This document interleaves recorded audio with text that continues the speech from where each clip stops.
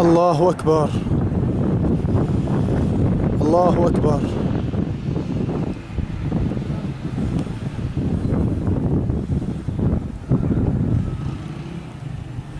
قصف يستهدف منازل المدنيين. حسبنا الله ونعم الوكيل.